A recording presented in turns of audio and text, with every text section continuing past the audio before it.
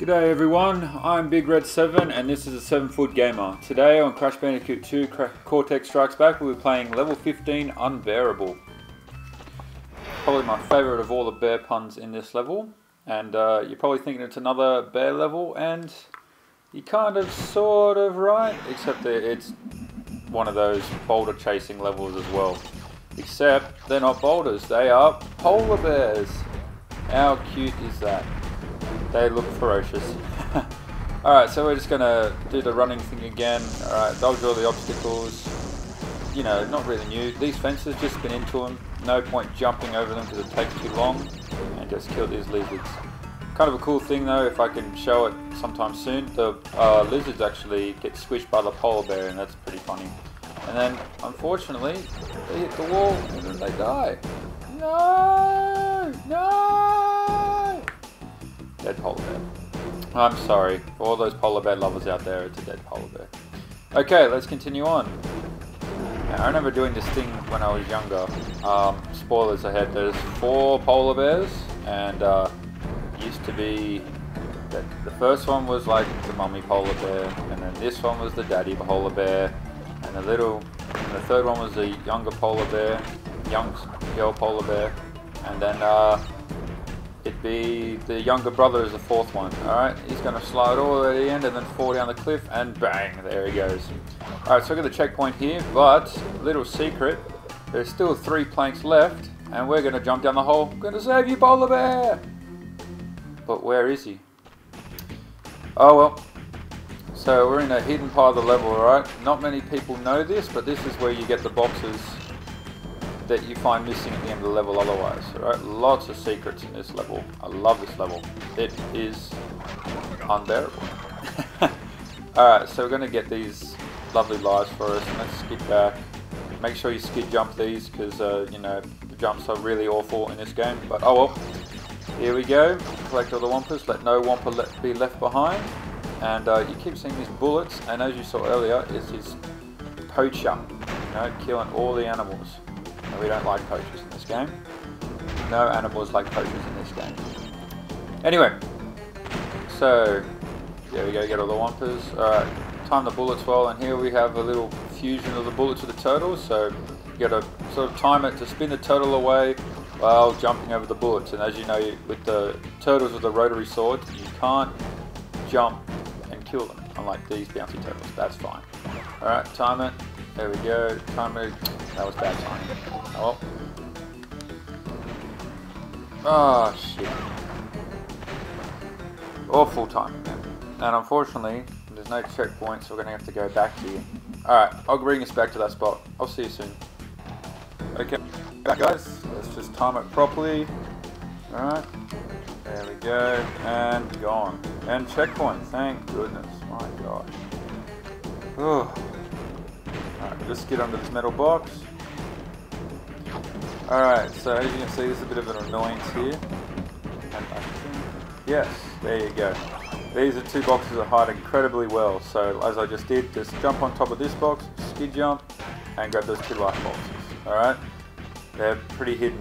Alright, that took me ages to find, but there you go. As for this bouncy box, obviously you have to, you know, remove it to, uh, what's the word? Uh, you know, pass the level. So when you do that, just uh, go up this way, make sure you get those two life boxes first, because uh, you won't be able to get up there until afterwards. So you got to be careful with these rats too. Are you kidding me? You got to body slam them because uh, they have their material for some reason makes you bounce up in the air and puts you right in the bullet's trap. Anyway, more timing. Try and do it well. Jump over the nitros. Don't have to duck like I am, but makes it more fun. Alright. In fact, ducking here will actually end up killing you. You won't be able to dodge the bullets if you duck here. Alright.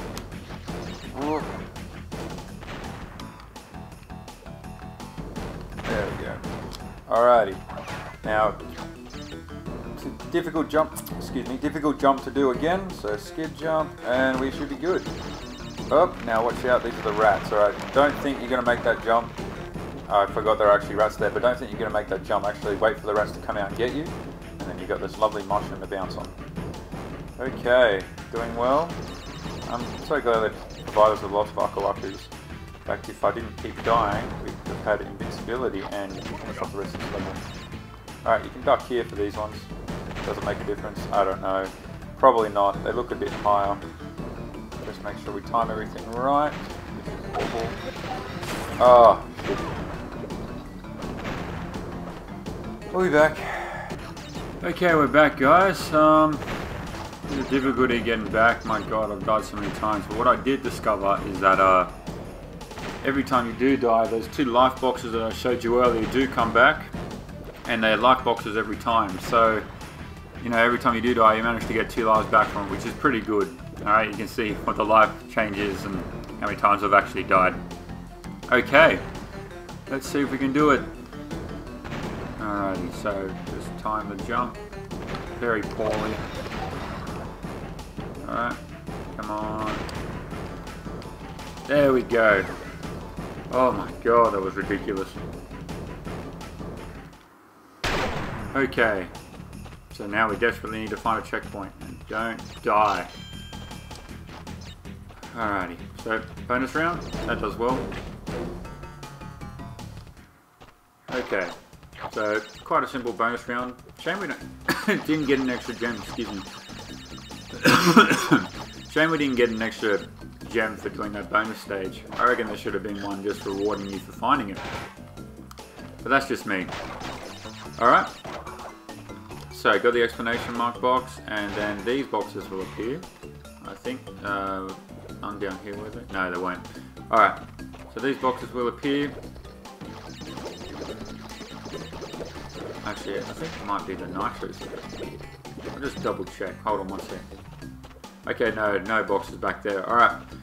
So, just jump over this, try and get as many Wumpas as you can. No Wumpas left behind. Let's do it. And head back into the main level. Oh, what a nightmare. I'm going to hit this up. And, uh, checkpoint, thank goodness. I hope we got all the boxes. Now let's go. Here's little sister polar bear going to get us. Alright, so these, as you probably noticed, these cases are a bit longer than usual. But um, I don't think, in this case, there may be um, any hidden boxes that you can't get that the polar bear won't get for you, which is nice. Alright, so just keep running it through. Alright, make sure, that's a bit tough, so make sure you spin, but before you come through the whole fence, skid through it as well. Otherwise you'll spin straight into the electrical wires. Okay, here we go, and look who it is, our friend Polar. And this this is why it's the little brother Polar Bear, because this thing is just fast. Alright, good thing we have Polar with us. Oh, so we'd never be able to be able to outrun it. Okay, so grab it, there we go. Get as close as we can. Getting towards the end now. And there we go.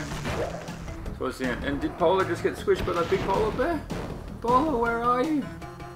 I'm gonna go look for Polar in a sec, guys. Just let me grab this gem. Oh, thank God we got this. Let me go look for Polar. Alright. I didn't hear any thuds from that big polar bear either. I hope they didn't die down there. Alright, so we're gonna skid jump across and spin just for safety. And, oh, Polar, you're okay. Come here, Polar. Come here. And whoosh. There we go, another secret. Alright, so, um, this leads to level 26, Totally Bear, which, uh, another fantastic uh, pun if I do say so myself. Alright, Dance is well deserved, but I think because this is, a, this is a separate level altogether, we're going to do this by itself, alright? I think I've gone over the time limit of how long I can make this level with all those deaths. So, um, okay, so next time on the 7 Foot Gamer, we'll be doing level 26 Totally Bear. I'm Big Red 7, and we'll see you next time.